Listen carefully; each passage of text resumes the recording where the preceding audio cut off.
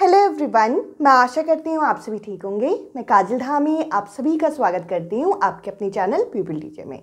जैसा कि हमें पता है कि 2022 हम लोगों के लिए बहुत सारे नए अवसर लेके आ रहा है, जिनमें से एक हम लोगों के सामने अब रीट परीक्षा भी है, जो कि 2022 में यहाँ पे कंडक्ट करने को लेके हम लोगों के सामने एक बहुत बड़ी अपडेट हमारे सामने आई है।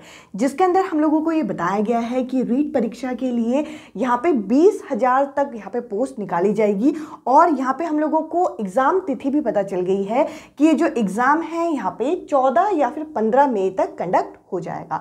तो देखिए, रीट परीक्षा जो है, अगर ये इस डेट में कंडक्ट होता है तो आप लोगों को अपनी तैयारी करनी शुरू कर देनी चाहिए, क्योंकि रीट परीक्षा एक ऐसी परीक्षा है जिसके माध्यम से आप लोगों की राजस्थान में यहाँ पे डायरेक्ट जो है नियुक्ति हो सकती है, यानी कि डायरेक्ट भर्ती हो सकती है।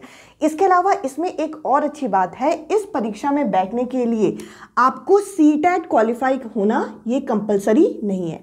अगर आपके पास सी टैट नहीं भी है, तभी भी आप रीट परीक्षा में अपेयर हो सकते हैं और साथ ही साथ रीट परीक्षा में अपेयर होने के लिए आपकी क्या योग्यता होनी चाहिए, जरा इसको भी देख लेते हैं।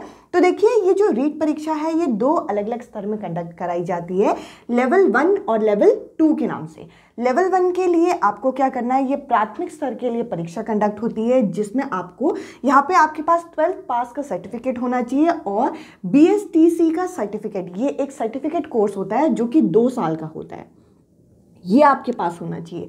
और अगर हम देखें ये जो लेवल वन है, ये आपके ढाई घंटे की परीक्षा होती है, जो कि ऑफलाइन मोड पे होती है और इसमें 150 क्वेश्चन यहाँ पे पूछे जाते हैं।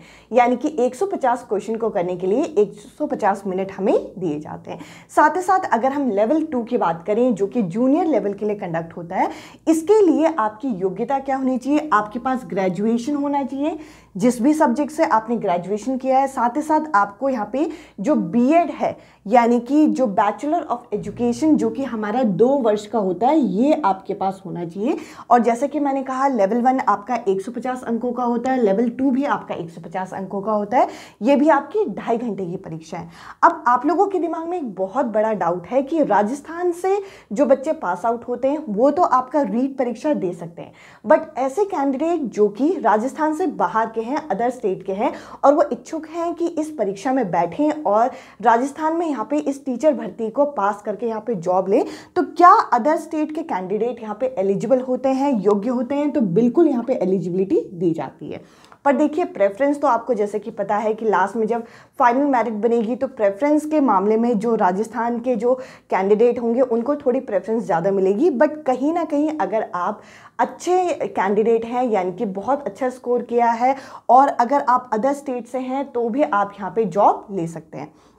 इसके अलावा हम लोगों को ये जो नई अपडेट मिली है, इसमें यहाँ पे बता रखा है कि जो विशेष शिक्षक होते हैं, यानी कि स्पेशल एजुकेशन से जो टीचर होते हैं, यहाँ पे स्पेशल एजुकेटर होते हैं, इनके लिए भी यहाँ पे प्रावधान किया जाएगा।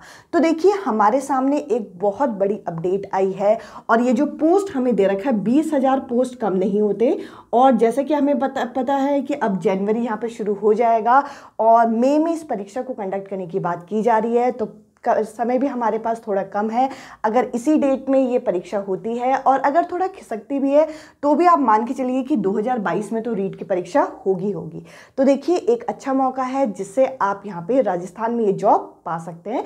इस परीक्षा की तैयारी में आप लोग लग जाइए। अगर आपका कोई और डाउट है तो आप कमेंट सेक्शन में कमेंट कीजिएगा। मैं आप लोगों के कमेंट का रिप्लाई करूँगी।